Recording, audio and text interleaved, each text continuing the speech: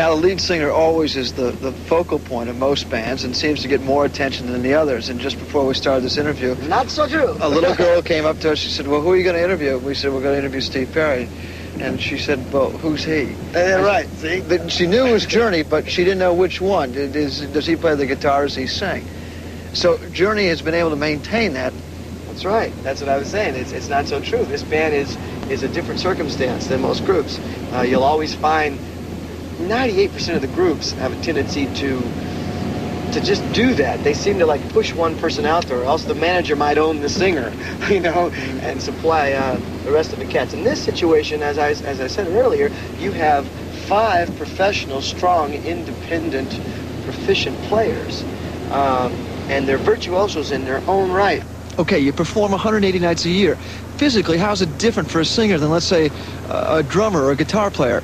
Guitar player gets calluses on his fingers, well, that means he can really burn. You know, he's got some calluses, his fingers won't hurt him no more. The drummer gets some, some big muscles and calluses on his hands. That means his hands aren't going to get blistered anymore.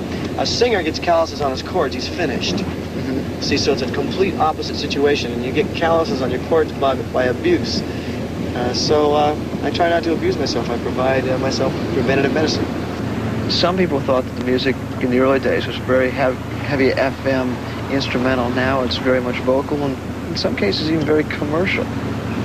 when when you're not successful, uh, people people just burn you to the ground. You know, when you're not doing well, they say, well, obviously we know why. Do all the critics just tear you apart? These guys are quote unquote. I'm giving you quotes from the years when we weren't doing as well as we are now. Diffused energy, diffused direction, a lack of cohesiveness in the music. um, no focal points, nothing interesting. Forensic guitar playing, you know, all this stuff. Now, those same ones are saying, you know, we are commercial, da da da da. I, my question to those people are, you know, what is commercial? You know, is is uh, is Pink Floyd commercial? Is our Led Zeppelin commercial? These people are popular. That's all. In that case, is the final arbiter of the audience. Absolutely. The people are the ones that decide.